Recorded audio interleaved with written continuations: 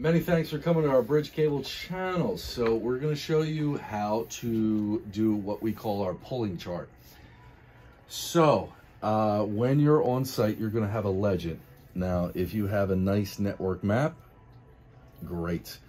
So what we do is when we have multiple crews going to multiple places, we're going to have a little legend here just to remind you guys. So when you're first grouping out, of course, you're going to pull the longest. So let's just pretend this is the IT um, thing. If you are pulling wire, you want to pull to the longest.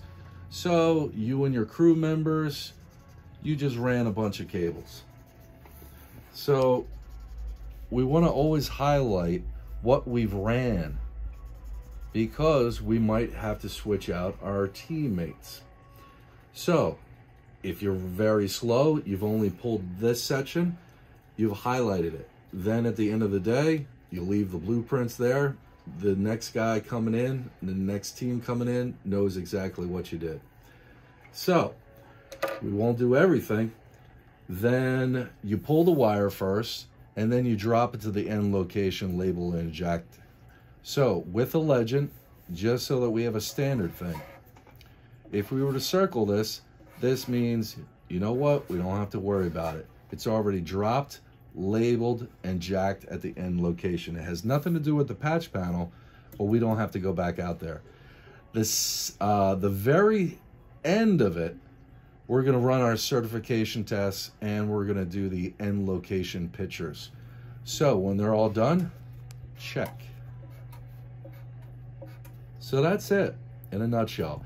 If you have any problems, for example, if you were going to 71 and it was uh, a problem, you notice that there was something wrong with the jack or labeled or something like that, on the back of the blueprint, if it's 71, you'll just put 71 uh, needs, whatever the case may be, needs a four port panel or a four port faceplate. And then that way, we're not all walking around.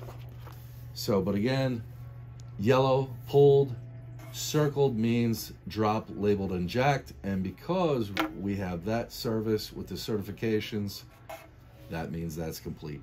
That's it. Thanks very much for watching this. And this is the pull chart.